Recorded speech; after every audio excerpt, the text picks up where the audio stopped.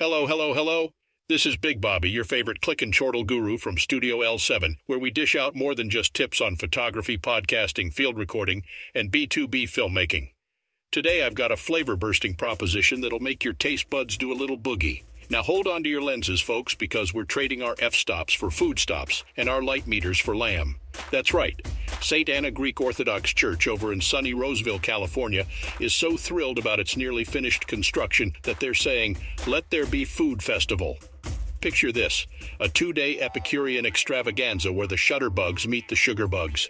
Mark your calendars for Saturday, the 9th of September from 11 a.m. to the light leaking golden hour of 10 p.m., and again on Sunday the 10th from high noon until the 8 p.m. twilight. But don't fret, my focus faithful. The only thing getting underexposed here is your diet. So grab your widest wide angle lens and prepare to capture the culinary cornucopia. The only rule no flash. It scares the souvlaki. Now, you don't want to lose the plot here, so be sure to follow the festival on Facebook for all the sizzling, drool worthy updates. Consider it the sneak peek trailer to your feature flavor film. So, pack up your camera bag, folks, and make sure to leave room for a doggy bag. Let's show them how we say cheese at Studio L7. And remember, when it comes to food and photography, timing is everything. So don't get caught waiting for the reheat. Catch you at the festival, folks. Big Bobby, signing off. Hello, hello, and welcome to another episode of Studio L7. I'm your host, Big Bobby, your go to guy for all things photography, podcasting, field recording, and filmmaking in the B2B world. You know what they say, right? A picture is worth a thousand words, but who knew that in the future it might be worth a thousand lines of code, too? Yep, you guessed it. Today we're diving into the fascinating world of AI and creativity. And trust me, it's more exciting than a shutterbug in a camera store. You've probably heard about AI, artificial intelligence. It sounds like something straight out of a sci fi movie, right? Machines taking over, humans made redundant, and cats and dogs living together. Mass hysteria. But no, fear not. AI isn't here to steal our creativity or start painting the next Mona Lisa. It's here to give us a nudge, a boost, and maybe, just maybe, help us get those creative juices flowing when we're stuck staring at a blank canvas or an empty SD card. I mean, think about it.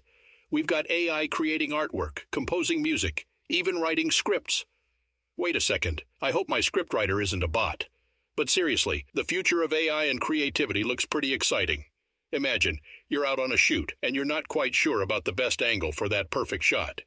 You pull out your trusty AI assistant app, feed in the details, and boom! It gives you suggestions based on millions of data points from the best photographers around the world. And there you have it, the perfect shot all thanks to a little AI magic. Or imagine you're making a film for a client. You've got your storyboard, your equipment, but you're struggling with the lighting. It's just not right. What do you do? You whip out your AI powered light assistant, of course.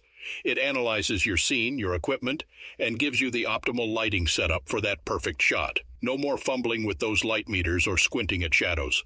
And it doesn't stop there. AI can help with editing too. Imagine an AI assistant that can sort through hours of raw footage and pick out the best shots, the best angles, and even suggest the best soundtrack.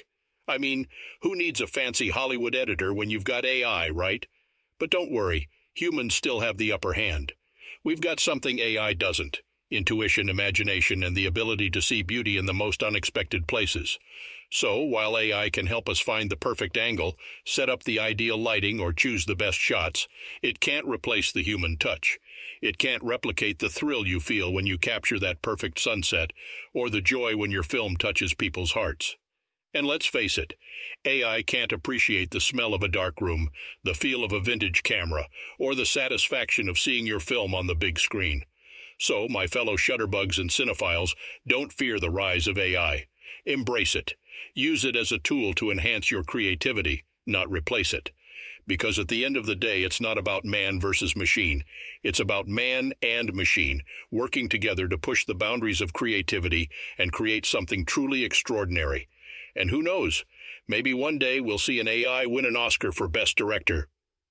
But until then, let's keep doing what we do best creating, inspiring, and capturing the world through our lenses. That's all for today, folks. Keep those shutters clicking and those reels rolling. I'm Big Bobby, signing off from Studio L7. Remember, the world is your canvas, so go out there and make it a masterpiece.